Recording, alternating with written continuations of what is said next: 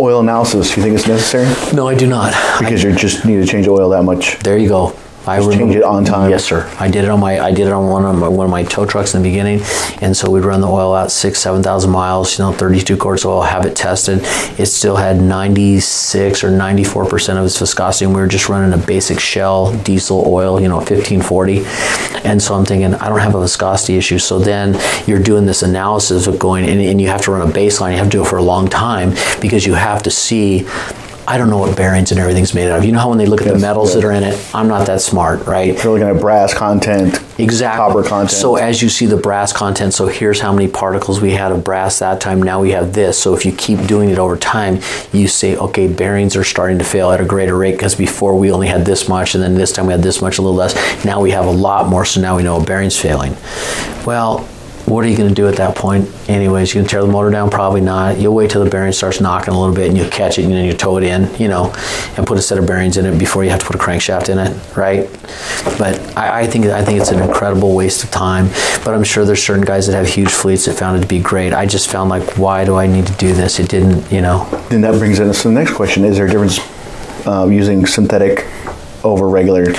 I'm not non-synthetic. I am not a proponent of synthetic oil at all, and I'm sure people give me lots of flack for that. Change your oil more often because the dirt's still in the oil. You know what I mean? Dirt's oil's black, right? When you put it in, it's not black.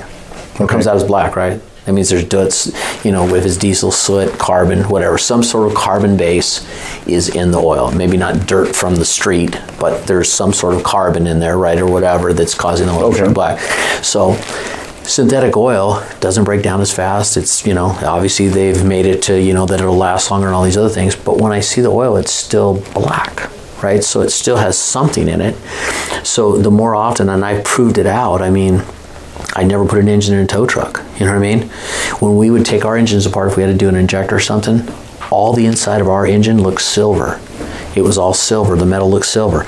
We take other people. You've taken people's stuff apart. You take their valve cover off and it looks bronze.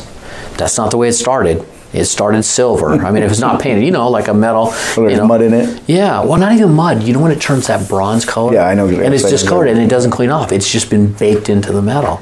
So I'm a proponent of save your money for the synthetic. I don't know what it costs you, and just do your oil change. Like say if you do an oil change every six thousand miles and you use synthetic, and it'll last. But think about this. Anybody who's telling you, any manufacturer who's telling you how long that oil, how to do the oil change, they're basing on how long they want the engine to last. In other words, if they want this engine to last 250,000 miles, so you know how they drive all those cars around and they test all that stuff mm-hmm. and they change oil, they'll go, okay, if we change oil at these periods, we're going to get 250,000 miles. We believe that's enough because we'd like you to buy another car or it's going to make the 10 year mark. Okay. And that's what we need. If you change the oil more often, it'll last longer. I've proved it. 20, 25 years being, you know what I mean? I've proved that if Allison says the transmission will last 250,000 miles or whatever, if you service it every 50 or 60,000 miles, I serviced them every 30,000 miles, and when I would sell a truck, it would have over 450,000 miles on the original transmission. Don't tell me I had better drivers than everybody else. right? I didn't. You just did it more often. We just did it more often. so take the money you would save from doing synthetic, Right. Do it regular oil Right. change with a regular non-synthetic oil, and do it more often. Yes, unless your car is under warranty, right? And the thing is, once it has synthetic in it, you probably should keep it going that way. But you know, a lot of people will have a, a maybe a little bit older motor and it had non-synthetic, and then they decided, well, I'm going to start putting synthetic Yes, in it to yes, save it. yes. I, I, I, that's when I would do it. But a lot of times when you start changing that, because I don't understand everything about oil, but you know, there's certain detergent levels and certain things like this. Like, say, when I would get an Allison transmission that they shipped to me with synthetic oil in it, uh-huh. I would immediately, this sounds crazy, right? Brand new truck, I would change the oil in it like three times to get all the synthetic out of it so I didn't have to worry about that anymore because I didn't want to contaminate anything because I wasn't sure. Because a lot of this stuff I learned as I went, I didn't really know. But I wanted to make sure I could get on the service center world and I didn't want to buy that friggin' that synthetic Synthetic. transmission fluid that was going to cost me all that money. I wanted all mine to be on the same thing. So I think I'll end up with two trucks that have this synthetic. And I'm sure there's lots of people out there who say you're an idiot. Maybe I am. Maybe I don't know what I'm talking about. But the proof is I did it for 25 years and these are my results. Okay. So you know, You're gonna if- stick by it. I'm going to stick by it. I prove it. I, I can't even convince my own son. My son has a Honda, and he's like, Dad, it's a little four cylinder. It takes this much oil, and we service his car every time. He's 28 years old, lives, you know, on his own, has his own job. He always tries to pay for the service. I'm not going to let him pay. He's my son, but he's like, my book says to change my oil every 5,000 miles. I said, okay. He was, how often would you do? I said, three. He goes, Dad, but that's that's old school because you know motors used to be like that. And you know, I go, that's fine. You can do whatever you want.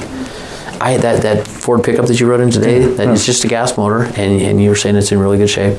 I change the oil on that every we change it every three thousand miles. That's stupid, right? Throwing oil away, throwing filters away sounds crazy, but I could potentially have that truck for the rest of my life. We could. I'll just buy another truck because I want one, not because I need one. Because that truck will be in perfect shape Okay. when I get rid of it. So then, you do you have any thoughts on AMSOIL? Is that a big scam? I, I don't know if it's a scam. I mean, what I mean, I, it's got to be pretty good stuff. I mean, I, people don't keep buying them, and it's got to be something great about them. You know, I mean, I've, I've, I've had the pitch from AMSOIL before, from all those oil From here, companies. Oh, here. they've come in here for sure. They're like, look, it'll do this, and you'll save this much in fuel. And I think some of those big fleet companies that have, you know, like 400 trucks, and you start saving pennies on the gallon for fuel. Okay. I could see them doing it. I mean, if the but then you got to go. Okay, is the money that I'm saving in fuel worth the money I'm paying in oil? Because I mean, basically, with the pitch I got, it's like you can run this oil in your car forever. You just change out the filter, do this and do that and do this. Obviously, smarter people than me, engineers, people who know. I just know what I know and I know what works, and I stuck with what I knew because I had great results. If I'm buying 1540 Shell oil, whatever it is for diesel, and I'm buying it by the barrel and I'm buying it for an X number, and I'm good with that, and I know every time I dump it, it's 32 quarts oil in another truck and a friggin' $40 or $50 filter. But it's but you know what I'm saying? Yeah. It worked for me.